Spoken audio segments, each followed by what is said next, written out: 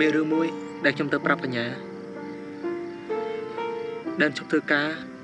ដែលគ្មានពាក្យសុំចោលអ្វីទាំងអស់ក្រុមហ៊ុនពិចារណាដកសិទ្ធិគេជាបុគ្គលិកឯងបងថាម៉េចកញ្ញាកុំអបាក់ចិត្តអីគេតបាត់មែនតែកញ្ញានៅមានបង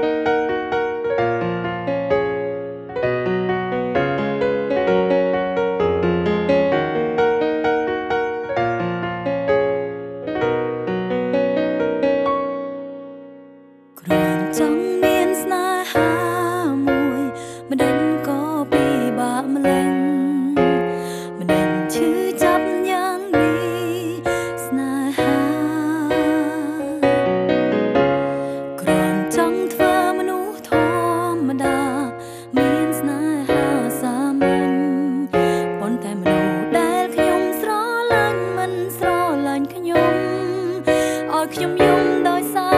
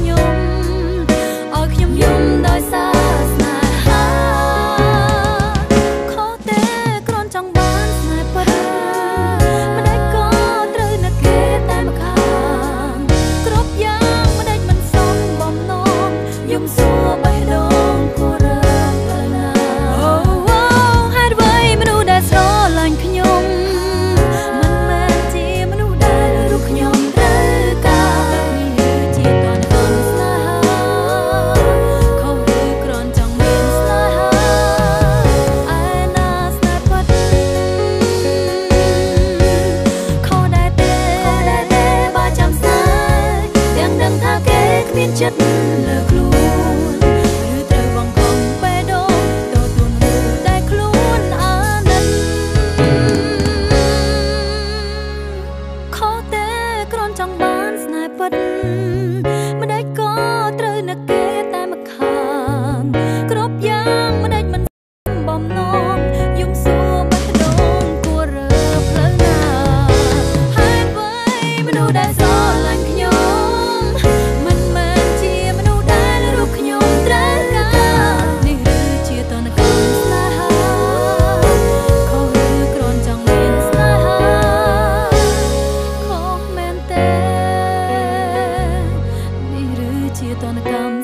ហា